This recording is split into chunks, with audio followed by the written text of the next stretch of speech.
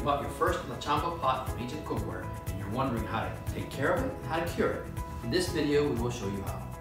So when you first get your La Chamba pot, it's a good idea to wash it. A lot of times it has residual dust from the manufacturing process, so you really want to get it nice and clean before you start. Let me give you an idea of why you need to cure it. Clay is naturally porous. If you were to fill it with water and leave it in the counter overnight, it will wake up in the morning with a little pool of water because the water will naturally through. If you cure it, it will not seep through anymore. You only have to do this once when you buy it and you'll never have to cure it again. So what is the idea? The idea is to plug up all the pores of the clay so that the water does not seep through anymore. The curing process really should only have to be done in the pots. Things like plates or serving bowls, you really don't need to because it was not going to have a lot of standing water for a long period of time. So you really don't need to worry about plates, bowls to be able to cure it. Basically only the cooking pots. Now, every culture that cooks in clay has a different method. The method I'm going to show you in this video is how to cure a pot the way they do traditionally in Colombia. However, there are many other methods. Now, the truth is that the La Chamba pot is so well made, and because of the process that it goes through to make it, the pores are very tight, so you almost don't even need to cure it, but it's always a good idea to do so just to make sure that it, your pot does not leak when you start to use it. Once you've cleaned your pot, removed your tag, you can start the curing process. You don't need to cure the top, really only the pot. What we'll do is we'll start it off in the stove and heat it up a little bit. So the La Chamba pot can go on a stove top, whether it's gas, electric, or like this one, glass. It can also go in the oven, in the microwave if you wish. You can put it on a grill or open fire. It will take all of those heats. So to start the process, we go ahead and we start heating it. You start heating it slow. By the way, the way you work with uh, clay pots is you bring it up to temperature slowly.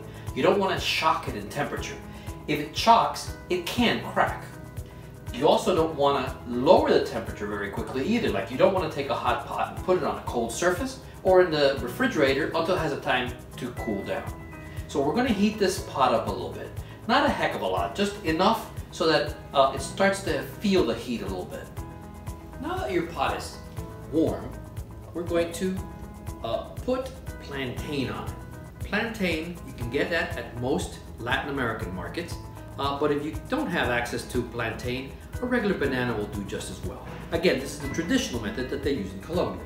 You take a plantain and you cut it in half, and you're basically going to put it on the pot like you would on a crayon or a lipstick. You basically get the uh, plantain and you rub it all on the surface as much as you can only on the inside, of course, on the bottom and on the sides. You try to go up as high as you can and just rub it as good as you can. You see the plantain, especially if it's ripe enough, it starts to leave a residue. You let that sit for a little bit until the uh, plantain starts to get a little bit dry. So this has been sitting here for a while and the plantain is relatively dry. So now I'm going to rinse it off in the sink and I'll be right back.